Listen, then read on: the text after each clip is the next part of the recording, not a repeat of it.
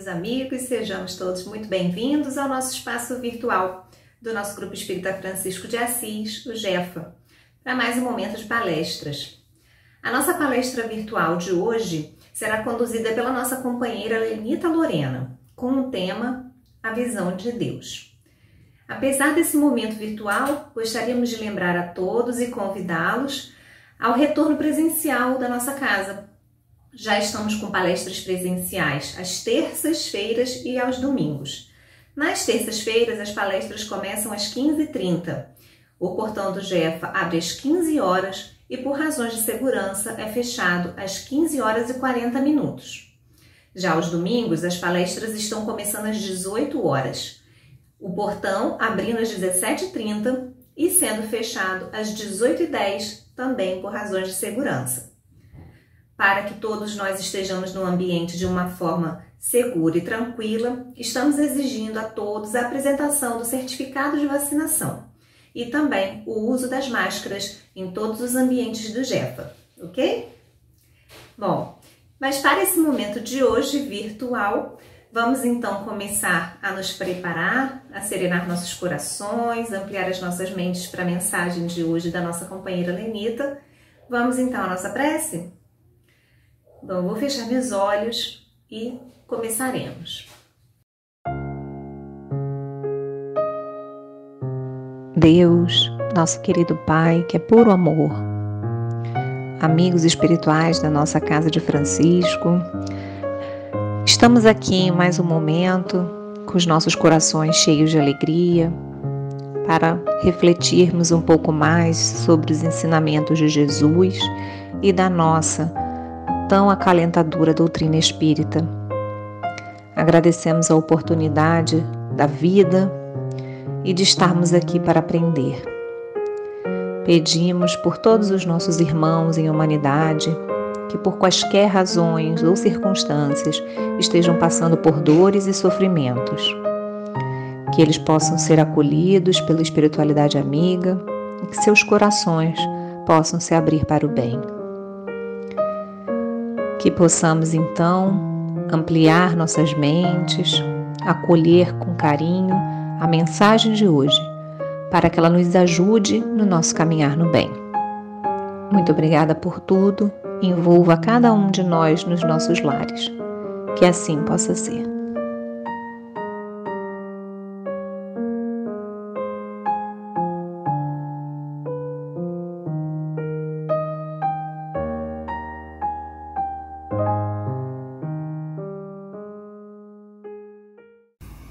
Meus irmãos, é com muita alegria que estamos aqui novamente reunidos nesse formato virtual para refletirmos sobre esse tema tão importante em nossas vidas, que é Deus.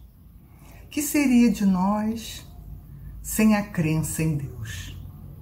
Que seria de nós se acreditarmos que o universo que o mundo em que vivemos, que nossas vidas estão ao sabor do acaso, da sorte, do azar, como se diz popularmente, que tudo que nos acontece não podemos prever, não podemos evitar e não tem uma razão lógica.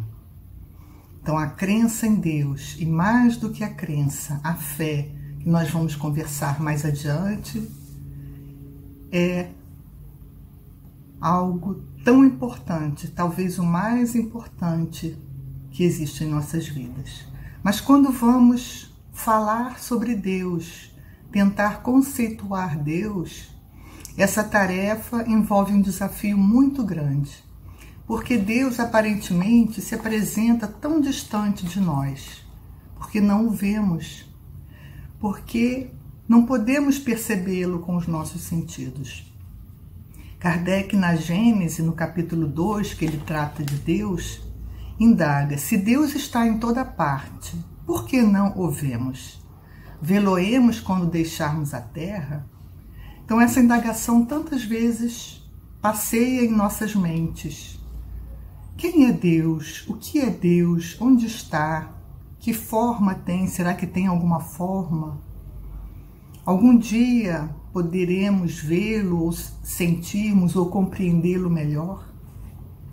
E Santo Agostinho, o admirável filósofo da Idade Média, e que, como espírito, deixou uma contribuição valiosa na obra da codificação, ele disse: Se ninguém me pergunta que é Deus, eu sei. Mas se me pergunta, eu já não sei. Então, essa frase resume esse desafio. Porque nós que acreditamos e que mais do que crença temos fé em Deus, nós sentimos que Deus existe, sentimos o seu amor por nós, confiamos nessa sabedoria, nessa inteligência e nesse amor, nessa providência divina. Mas quando vamos tentar conceituar Deus, aparece uma dificuldade grande para nós. E Kardec, então, ciente dessa dificuldade, ele inicia a obra primordial do Espiritismo, o Livro dos Espíritos, com a conhecida questão número um: que é Deus? Evitando personalizar Deus, Kardec coloca a pergunta com o pronome que em vez de quem. E os espíritos lhe respondem que Deus é a inteligência suprema, causa primária de todas as coisas.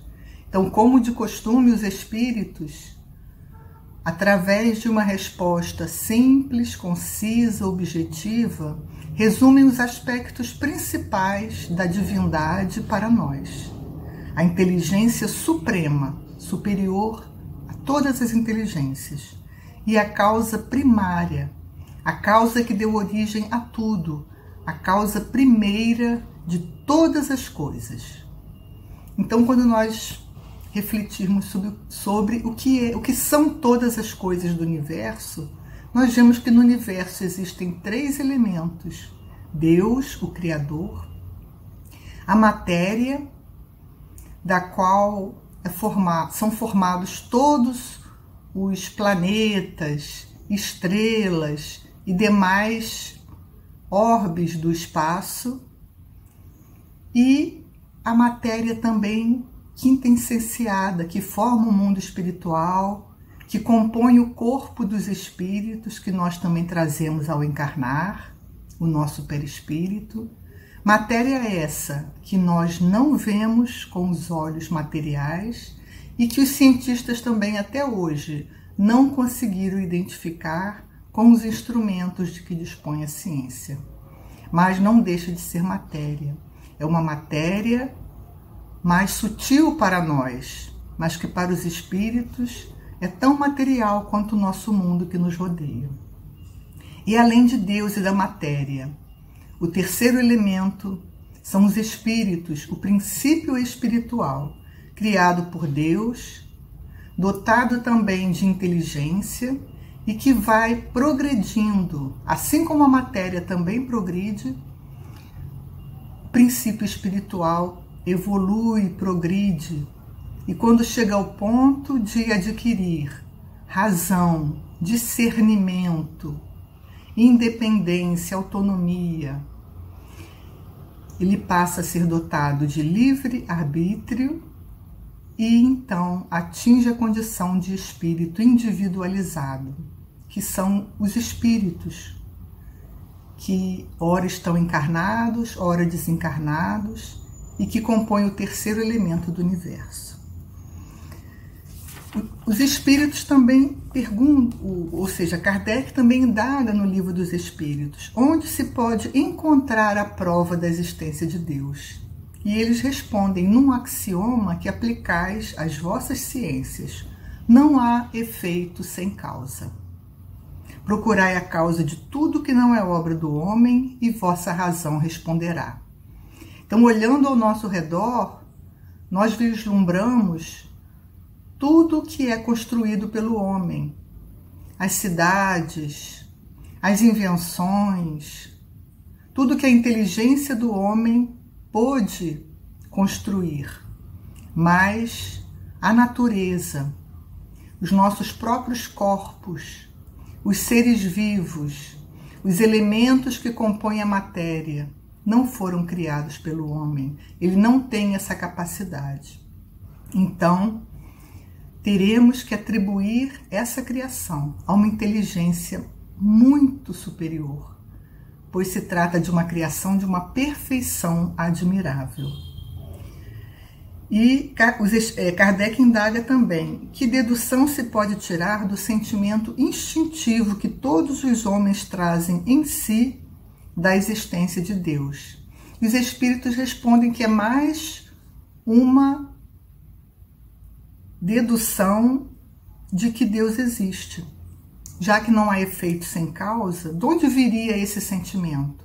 E até os seres mais primitivos, mais rústicos, mais simples, têm essa noção da divindade, adoram algo superior a eles, temem essa força superior. E esse sentimento íntimo, que para esses seres não é fruto da educação, mas sim é instintivo, é intuitivo, também nos remete a mais uma comprovação da existência de Deus. Kardec indaga ainda se o homem pode compreender a natureza íntima de Deus. Os espíritos respondem que não, falta-lhe para isso o sentido. Então, os cinco sentidos de que nós somos dotados a visão, a audição, o olfato, o paladar, o tato podem nos dar a percepção de uma parte das coisas materiais, pois sabemos que grande parte da matéria também escapa aos nossos sentidos. Até a luz, nós só vemos uma gradação da luz. Há é, aspectos da energia luminosa que nós não podemos ver ou perceber, mas percebemos grande parte da matéria mas falta-nos o sentido para perceber Deus. E Kardec indaga se um dia o homem poderá compreender o mistério da divindade. Os espíritos respondem que quando ele não tiver o espírito obscurecido pela matéria, quando pela sua perfeição se houver aproximado de Deus, ele o verá e compreenderá. Então é uma questão de evolução, de progresso, para que o espírito adquira esses sentidos superiores, essas percepções superiores e sua própria inteligência, sua própria razão consiga avançar ao ponto de perceber coisas que atualmente, no nível evolutivo que temos como encarnados aqui na Terra, nós não dispomos. Mas Kardec a seguir, né, ele pergunta se, embora não possamos compreender a natureza íntima de Deus, se podemos formar ideia de algumas de suas perfeições. E os espíritos dizem que de algumas sim. E à medida que se elevar acima da matéria, o homem as compreenderá melhor. Que ele pode compreender essas perfeições ou esses atributos pelo pensamento. Então, usando a razão, nós podemos ter uma ideia dos atributos, das características de Deus é um tema que Kardec vai desenvolver melhor no livro A Gênese, no seu capítulo 2, que trata de Deus, quando ele fala da natureza divina. Então, ele diz ali né, que nós podemos é, compreender algumas das características de Deus. Lembrando que os povos mais antigos, e mesmo alguns até hoje ainda permanecem com essa crença, acreditavam num Deus colérico, vingativo. Então, a lei, a, a muito é, diferentemente do amor a Deus, eles temiam a esse Deus, potencialmente vingador, poderoso, mas é uma ideia errônea de Deus. Porque Deus, o que, que nós temos como atributos que podemos deduzir? Deus é a suprema e soberana inteligência. Isso nós deduzimos não só da resposta dos Espíritos, a questão número um do Livro dos Espíritos, mas usando a nossa razão, concluímos que a inteligência de Deus tem que ser infinita, tem que ser soberana, suprema. Se houvesse um ser mais inteligente que Deus, esse ser seria Deus.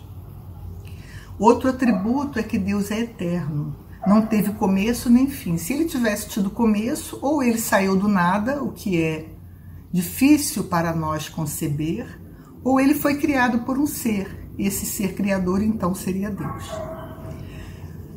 Outro atributo é que Deus é imutável. Se ele estivesse sujeito a mudanças, suas leis mudariam também e o universo não teria estabilidade.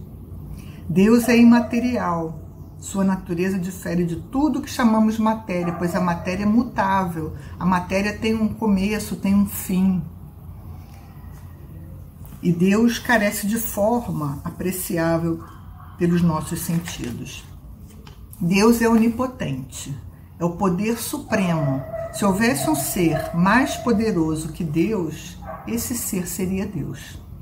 E Deus é soberanamente justo e bom.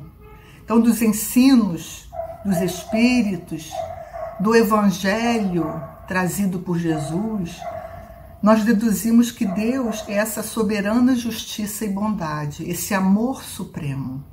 Não é o Deus vingativo, não é o Deus colérico, não é o Deus justiceiro, é uma justiça apoiada no amor. E essa providencial sabedoria e amor das leis divinas se revela tanto nas pequeninas coisas como nas grandes. Deus é infinitamente perfeito, ele tem todas as perfeições num grau infinito, num grau supremo. Sem o que não seria Deus. Deus é único. Isso a razão nos diz. Se houvesse dois iguais, seriam como um só.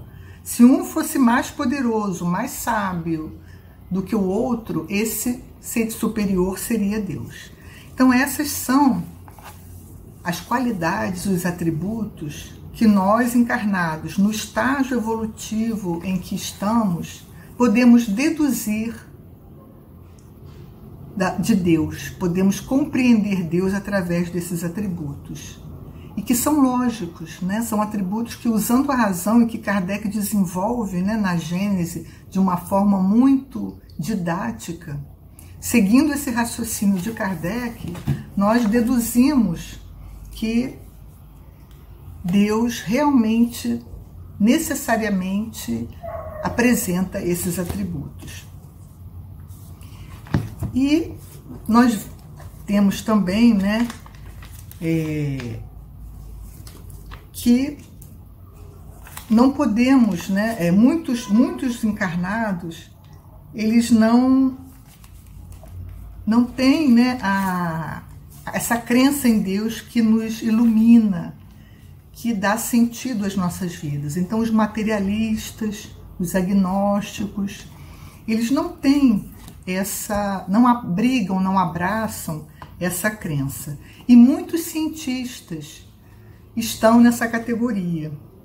Mas, felizmente, nós temos ao longo da história muitos cientistas que falam, que acreditam e que defendem, através das suas pesquisas, das suas investigações acerca do universo, da matéria, defendem a existência de Deus.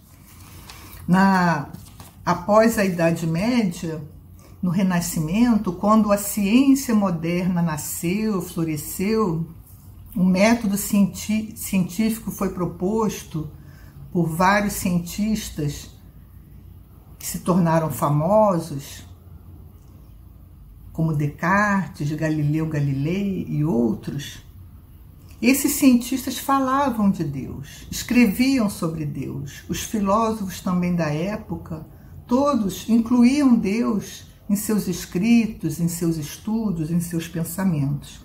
Posteriormente, o materialismo passou a dominar a ciência, como se fosse um um erro dos cientistas se referir a Deus, acreditar em Deus, já que não poderiam comprovar cientificamente pelo método que a ciência abraça essa existência. Mas no início do século XX, nós temos Einstein, uma inteligência privilegiada, um homem que propôs, que revolucionou as leis da física propondo novas teorias que, junto com outros físicos da época e um pouco posteriores a eles, trouxeram uma revolução na ciência, o nascimento da ciência pós-moderna, uma ciência muito mais avançada do que a que havia nascido no Renascimento.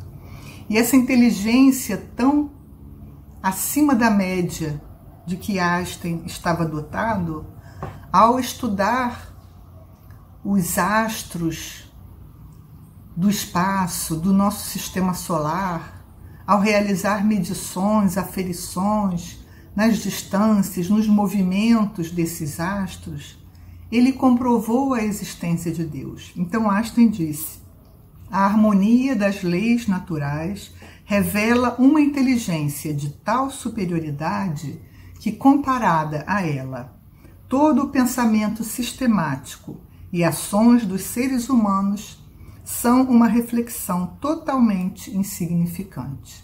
Então, essa afirmação, vinda de uma inteligência tão acima né, da nossa, nos faz pensar que ele realmente se curvou diante das leis maravilhosas que ele observou regendo o universo e comprovou a existência de Deus, como outros cientistas também posteriores a ele.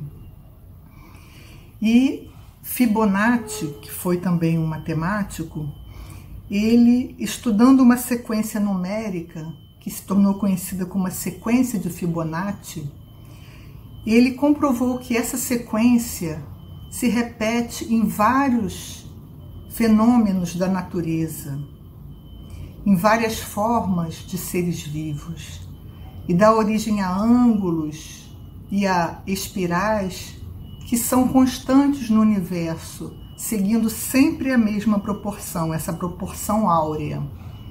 Então essa sequência de Fibonacci, ela é encontrada tanto em forma de espiral no casco de alguns moluscos, na formação de nuvens e de tempestades, de tufões, de furacões, na forma de várias galáxias, como também é encontrada forma, na forma angular, nas asas dos insetos, na disposição das sementes que são contidas no miolo das flores, que são dispostas numa sequência geométrica perfeita para que uma semente não nasça em cima da outra, mas todas numa distância totalmente simétrica. Então há um vídeo na internet, se vocês colocarem no YouTube sequência de Fibonacci, um vídeo curtinho de pouco mais de três minutos, e que é uma animação que mostra essa maravilha que é a essa regularidade dessa proporção e desses números na natureza. Então é muito interessante, vale muito a pena assistir, porque mais uma comprovação científica da existência de Deus. Não poderia ser por acaso que esses números, essas proporções, essas distâncias tão regulares se repetissem exatamente iguais em, em fenômenos tão diferentes como a asa de um inseto e uma galáxia. Então, isso é uma maravilha da criação divina. E as leis divinas, elas nos falam dessa maravilhosa criação. Então, as leis divinas que Kardec vai estudar mais aprofundadamente na terceira parte do Livro dos Espíritos se dividem na lei é, material, na lei que rege o mundo material, que é essa estudada pelos cientistas, que vão pouco a pouco se aproximando dessas leis, e as leis morais, as leis morais que regem o comportamento dos seres vivos. Então, no, na pergunta 614, Kardec indaga: que se deve entender por lei natural? é a lei de Deus, é a única verdadeira para a felicidade do homem, dizem os Espíritos. Indica-lhe o que deve fazer ou deixar de fazer, e ele só é infeliz quando dela se afasta. Então, a lei de Deus é a única que poderá nos levar à felicidade, que nos conduz ao progresso. Mas onde está essa lei? como nós podemos tomar conhecimento dela? Será que precisar, precisaremos dos profetas? Então, no, no livro, na pergunta 619, Kardec indaga: todos os homens facultou Deus os meios de conhecerem sua lei? Os espíritos respondem que todos podem conhecê-la, mas nem todos a compreendem. Os homens de bem, os que se decidem a investigá-la, são os que melhor a compreendem. Todos, entretanto, a compreenderão um dia, porque forçoso é que o progresso se efetue. E Kardec indaga onde está escrita a lei de Deus. E os espíritos respondem na consciência. Então não está escrita num livro, numa pedra, mas está escrita na nossa consciência. E precisamos então lembrar dessas leis. E os Espíritos dizem que, Deus confiou aos missionários em todos os tempos a missão de revelarem a sua lei, porque nós, homens encarnados, esquecemos essa lei. Nos desvirtuamos, nos afastamos dela, enveredando pelo caminho do erro, pelo caminho do mal, indo contra essa lei, trazendo infelicidade a nós mesmos, aos outros, à própria natureza. Então, os missionários eles têm essa, esse trabalho, essa tarefa de nos fazer lembrar dessas leis. Na conhecida pergunta 625, Kardec indaga qual o tipo mais perfeito que Deus tem oferecido ao homem para lhe servir de guia e modelo.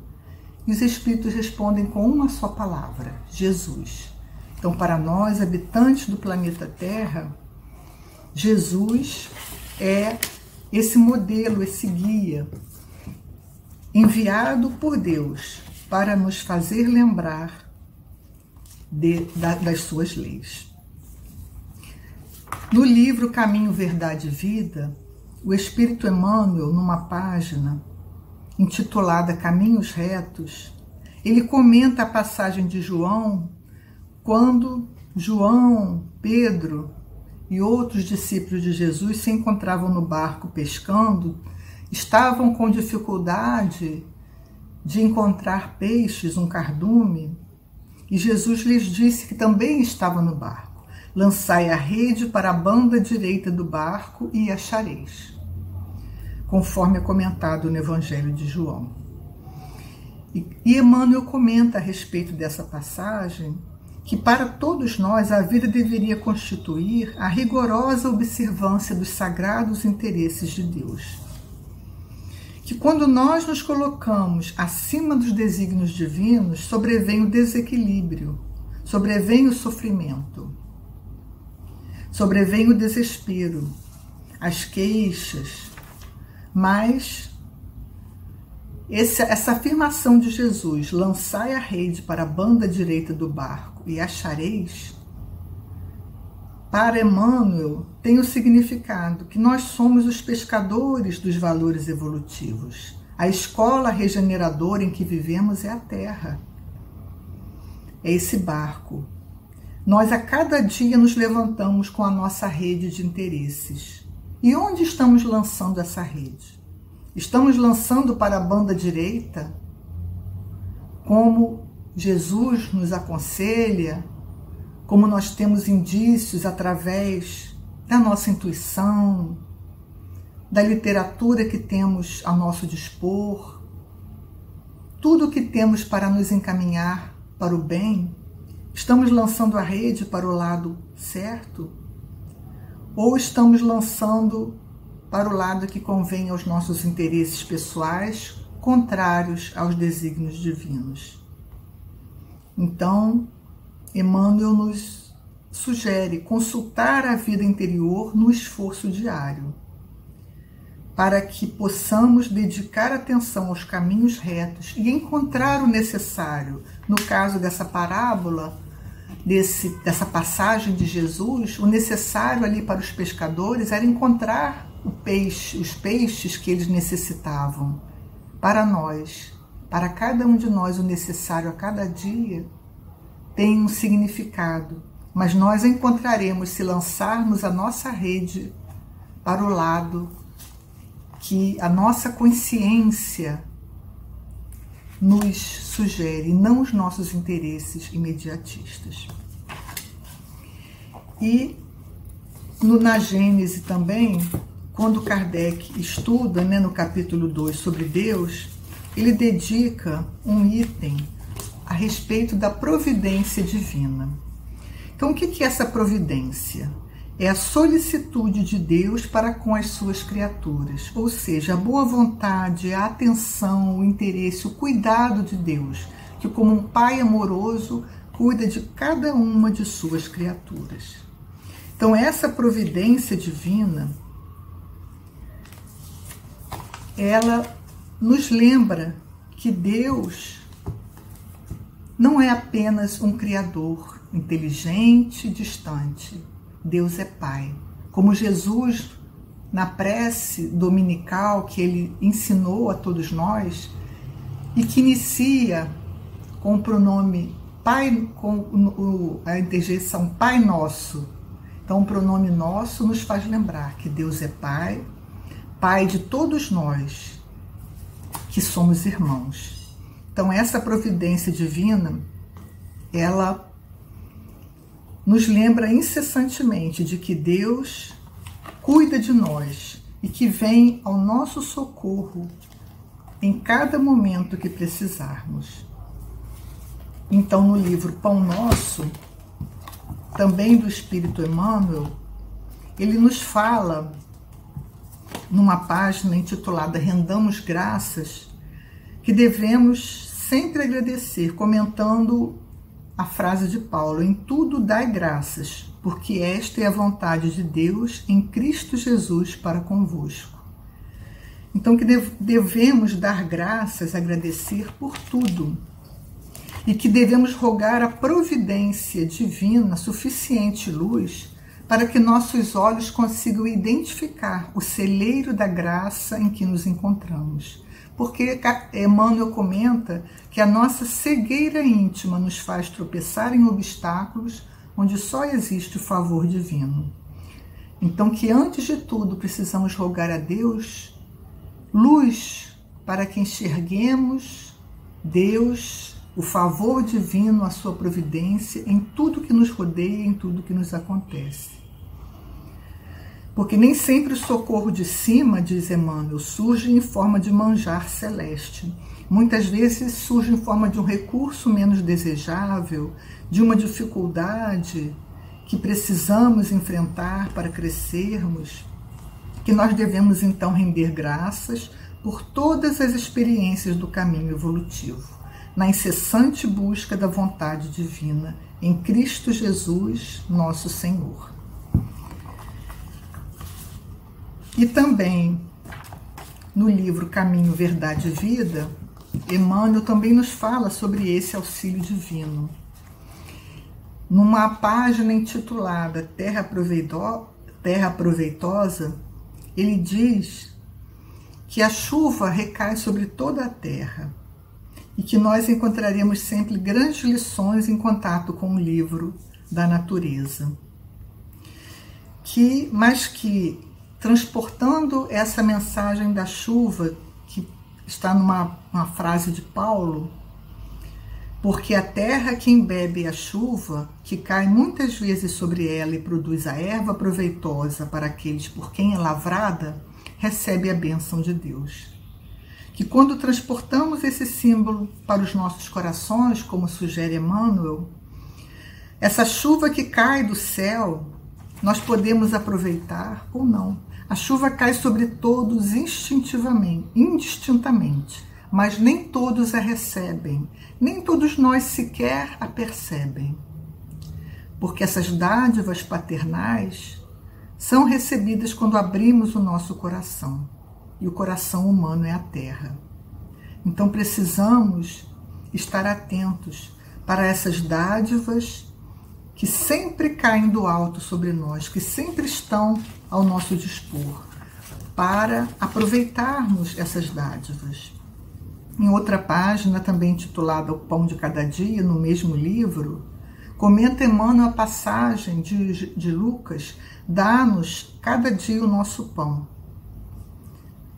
que disse Jesus. Então, nós pensamos né, no pão de cada dia. O pão que é o alimento material que precisamos para sobreviver. E quando pensamos no pão, né, nós pensamos muitas vezes que o pão é uma conquista do homem, porque o homem plantou o trigo, colheu o trigo, debulhou, confeccionou com a farinha e outros ingredientes o pão, assou o pão, comercializou o pão para que seja consumido. Mas o Altíssimo deixa a nós essa crença de que o pão é nossa conquista, para que nós nos aperfeiçoemos no dom de servir. Mas na verdade, o pão procede da providência divina. Porque o homem ele vai cavar o solo, espalhar as sementes do trigo, cooperar com a natureza, mas a germinação, o crescimento, a florescência, a frutificação pertencem a Deus. Então, nesse alimento que é o pão, como todos os alimentos que nos sustentam o corpo físico e permitem a nossa sobrevivência, devemos lembrar que sempre o trabalho do homem é conjugado à providência divina. E por final, meus irmãos, para encerrar o nosso estudo, as nossas reflexões, vamos pensar um pouquinho sobre a fé. A fé que é muito mais do que a crença, porque a crença é uma operação racional, uma operação do pensamento que deduz a existência de Deus através do raciocínio lógico. Mas a fé, ela conjuga a razão, esse raciocínio, ao sentimento, ao sentimento de que Deus existe. E que para nós esse sentimento está presente já. Embora embrionário, ele vai se desenvolvendo com a nossa evolução. Então a fé é uma conquista do espírito, conjugando a razão e o sentimento, nessa certeza de que Deus existe, nessa ligação nossa com o Pai. E a fé realmente, ela nos ilumina e é capaz de nos conduzir no caminho do bem. E Joana de Ângeles, encerrando um capítulo do livro Alerta, no qual ela trata de Deus, ela diz: entrega tua vida a Deus e nele confia sem reservas. Produze o melhor que te seja possível, permitindo-lhe a alegria de servir incansavelmente. Quem se entrega a Deus conscientemente, em Deus se move e age, marchando com segurança para Ele. Então, que possamos, meus irmãos, em cada momento de nossas vidas, sejam momentos de alegria, de tranquilidade, sejam momentos de dificuldades e desafios, entregarmos nossa vida e a vida daqueles que nos rodeiam, que nos são caros, a Deus, confiando nele, mas fazendo o melhor que estiver ao nosso alcance, para podermos caminhar para frente, crescermos e pouco a pouco atingirmos essa felicidade que todos almejamos. Que Jesus nos abençoe, nos envolva hoje e sempre.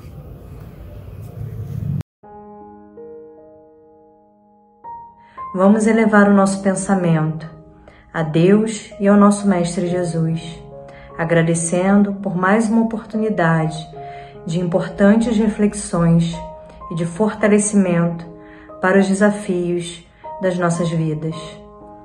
Que nós possamos sair daqui mais fortes e mais preparados e que todas essas boas energias geradas aqui possam se espalhar por todo o planeta. Que assim possa ser e graças a Deus.